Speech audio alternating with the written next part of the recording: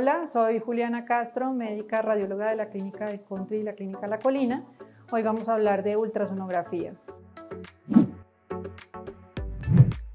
Es un método diagnóstico que nos permite evaluar en tiempo real órganos y tejidos del cuerpo humano para hacer un diagnóstico oportuno de condiciones médicas, a diferencia de otros estudios por imagen donde el examen es practicado por un tecnólogo, acá es el médico radiólogo quien hace el examen y realiza también la interpretación de las imágenes que obtiene. La duración del examen es relativa, hay exámenes que eh, pues son rápidos, que pueden durar más o menos 30 o 20 minutos y otros exámenes que requieren mayor tiempo.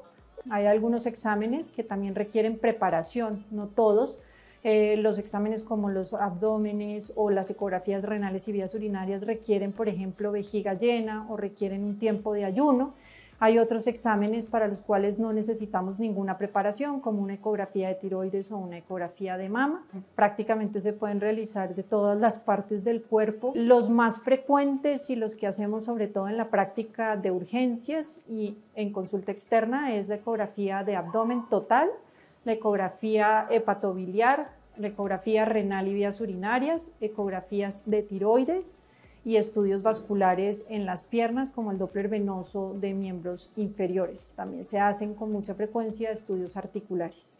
En general es un examen de fácil acceso, eh, rápido, oportuno y no invasivo que favorece eh, la atención eh, efectiva para un paciente en diferentes condiciones médicas.